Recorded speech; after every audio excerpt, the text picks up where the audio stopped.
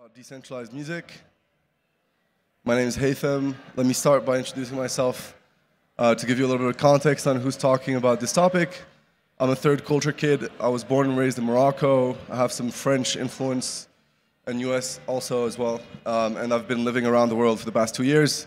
The reason I think this is relevant is in these decentralized environments, you have different perspectives coming together, and so understanding the need to create like a safe space for, for everybody is very important. Um, also have a background in engineering, worked in Web 2 and, and crypto open source. And then obviously I love music. Um, I like to freestyle rap, sing, and song. Damn, it got really loud. Um, also want to preface this by saying I'm not an expert in this. I don't think anybody's an expert in this field. It's rapidly changing, so take anything I say with a grain of salt. Okay, so what's, uh, what's wrong with the music industry right now? Um, so the, the meme right here is, is, very funny, but it's actually pretty true. I'm sure people in the audience know at least someone who's a musician and couldn't really make a living off of their music, unfortunately. There's, there's really a plethora of reasons why the music industry is fragmented and kind of inefficient. Uh, but if I had to, to, to, say like one kind of key takeaway is just poor mechanism design around the, the creator not getting properly, like not capturing uh, wealth and, uh, and power around the music that, that they're releasing. And there's a variety of reasons why this is happening. Sorry. Um, so back catalog is owned by, by major like three major labels. So 80% of Spotify playlists are controlled by the three major labels, and 7% of Spotify is actually owned by Sony and Universal Music. Um, so they have this control, like this long-lasting control. And then there's uh, insane competition. So 60,000 new tracks are released on Spotify every day, and only like 0.2% of, of artists on Spotify make barely above living wage uh, in the US. There's also internet piracy, which we don't talk about enough. So since 1999, the US economy more than doubled, whereas uh, the, the music industry sales like barely just are, are back to where they were at the physical record time.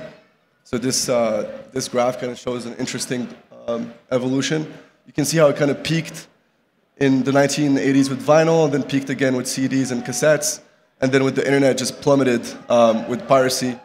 And then kind of the hope is that it, it, it was already growing back with the digital streaming sales before Web3, and Web3 can potentially make that even better. So how, how can Web3 music uh, help? Um, there's many ways. So I'm, I'm kind of, I'm more aware of the music NFT route music NFTs present this, this very low effort uh, additional income stream for musicians. So they already have their audio files and only need to slap uh, them on an NFT to kind of make uh, more, more money with their, with their art.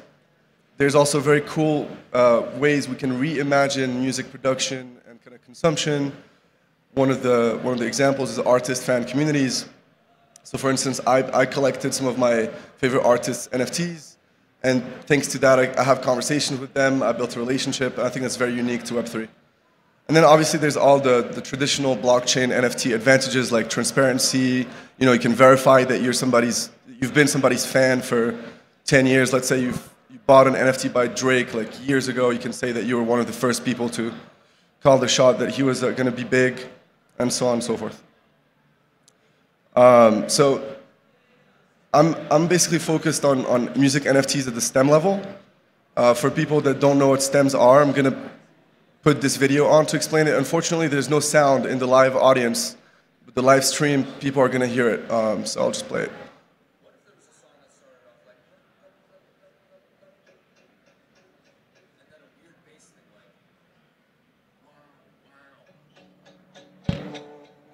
drums are really simple, like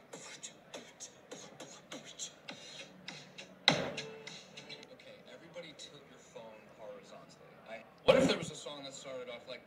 Yeah, so every, basically every uh, instrument track you were seeing on Ableton, like the drum and uh,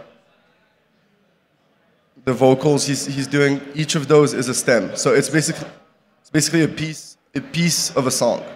So when you have a song today, and on Ableton usually you have different instrument tracks. Each instrument track is called a stem, and we're basically uh, thinking that having STEM NFTs is an interesting approach to, to Web3 music because it lets uh, the music be created on chain. So people are using these music building building blocks to kind of create music together. And since it's already on chain, uh, it increases the leverage of uh, Web3 kind of content and will drive users coming to, the, to, to these platforms. Also has some cool side effects like stem level uh, rights attribution. Uh, so you can know, the, you can give credits at the stem level, you can give information on, on the sound file at the stem level. And then there's this cool side effect of uh, natural rarity hierarchy. So if you think of one of your, one of your favorite songs like Seven, Seven Nation Army or a DJ Tiesto song, and you think of the different sounds that you hear, there's probably a sound that you prefer. So if we do a random mint on a sound and you're getting one of the stems, you'll probably have one that you really want to get. And usually it'll be like the main vocal or like uh, you know the guitar line. Um, and obviously it changes from one person to the, to the, next, but it's kind of reminiscent of the PFP kind of rarity uh, of NFTs. So I think it's, it's, it's also an interesting kind of uh, property. Um, so what do we do with these stems? Basically, yeah, the artist, an art, a given artist, uh, let's say DJ Tiesto, because we went with him, takes a song that he has uh, out and drops the stems of that song as an NFT collection. So basically, the different instrument tracks. Then we incentivize his fans and our community to make music with those stems. So make new music. So let's say you use one of the snares from that song and you add your own samples and you mix it and master it however you want. And then you make a new song out of that. Um, so then DJ Tiesto can actually approve your song on chain if he likes it and tie the, the, that song NFT back to the stem NFTs that you used from, from him. So basically, it's kind of like an on chain featuring. If you're still with me, I really appreciate it. Uh, it's going to get a little bit ugly for a bit, but just, just bear with me. So basically, what, what, what this is is a set of smart contracts that represent these entities on chain.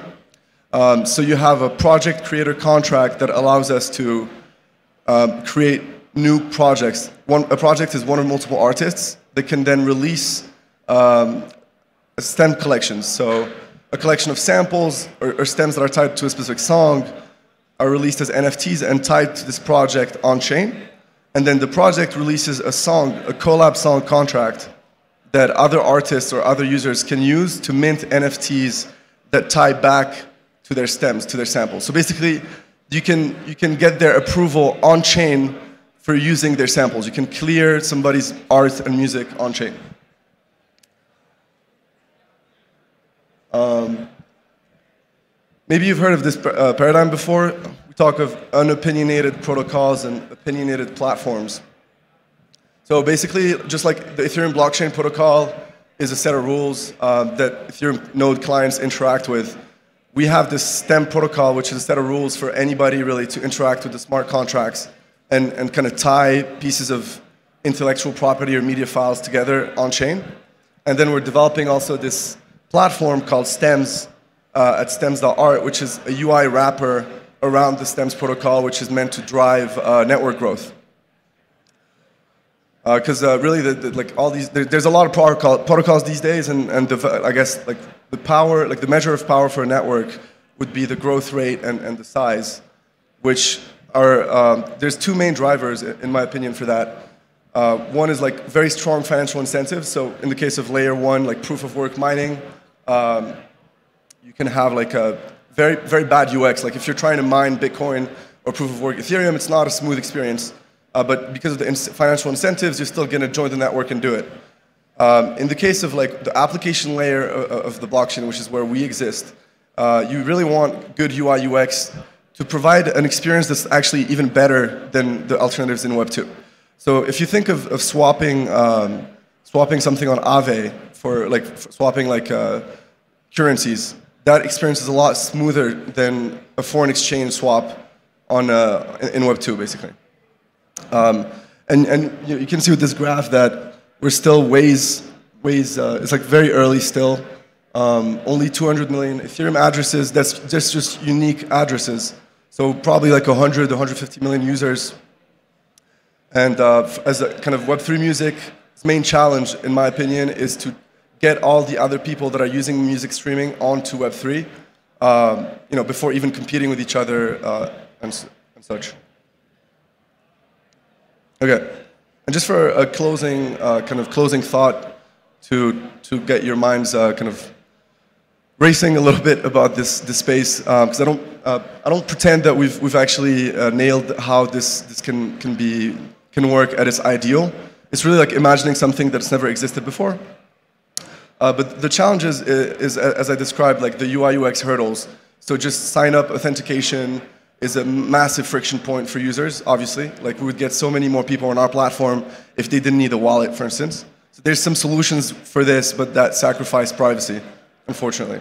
And the thing is, like, you know, you have 99.5% of cases your signature goes through, it's pretty smooth, and then 0.5% of cases you're showing somebody at a dinner uh, your app, and then they're trying to log in, and it takes two hours, just like completely ruined the whole product for, for the entire dinner table. And this, this happens very often. Um, another like more specific to Web3 music issues, it's really unclear what the value of music NFTs is as a speculative asset. You can see the, the graph of, of uh, music NFT sales over time, how it's like kind of flatlining. It is uh, along the lines of visual NFTs as well, but um, definitely shows that we haven't tapped into the, what music NFT technology can unlock besides like speculation. You know, like uh, creating ecosystems around the NFTs, and that's kind of what uh, Stems is, is trying to do. There's also this Web3 native eco uh, cha chamber that you find in different uh, sectors or verticals. In, in the music space, it's the same. Like, you know, I'm a part of it. I'll support my friends dropping their NFTs, and we'll buy each other's stuff. And then it's kind of unclear who are the actual new entrants. What is the actual real value created uh, that is making people want to buy these, these NFTs? So we kind of need to escape that um, and, and kind of focus on bringing external people onto these, um, onto these ecosystems. And the last one I wanted to touch on, uh, since uh, you know, NFTs are a big part of this talk, you heard me say NFT a thousand times, is uh, so you've probably all heard of the, the Blur versus OpenSea kind of drama recently, where Blur is using a tokenomics approach to incentivize people to use its platform uh, and just slashed like the, the, the, fees that you typically pay on, on NFTs on OpenSea which then led OpenSea to slash its fee, uh, leading to like cannibalization of the ecosystem. And it's, it's actually a pretty interesting development because if, if, you think about it, Web, the Web3 way is kind of using tokens. So Blur is using tokens to, to do these incentives.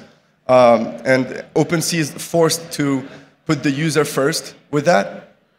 Um, you know, like cutting the fees really at the end of the day benefits the user. The issue is, you know, Blur is really creating like an early stage uh, majority that will dominate the platform later on. it's like how do you how do you make sure that it grows and maintains itself? Um, and we're thinking of like this in the context of our platform, like subscription versus NFT, like access NFTs versus like files in NFTs, etc. Um, yeah. So that, that's it. There's a couple minutes if I don't know if we're doing questions. Are we doing? Anybody has a, wanted to weigh in or has a question? Yes.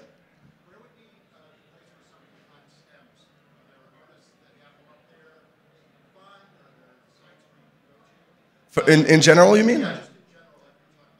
Yeah, so there's Splice. Splice is the dominant like free license uh, stems uh, so software platform. You pay like a subscription fee and then you have access to uh, infinite stems. Um, and then there's like you can't actually find the stems of songs that you listen to, if that's, if that's your question. In general, yeah. So Splice would be it. Yeah. Obviously, like uh, our stems.art, we have the stems of the specific uh, artist that dropped with us. Yes?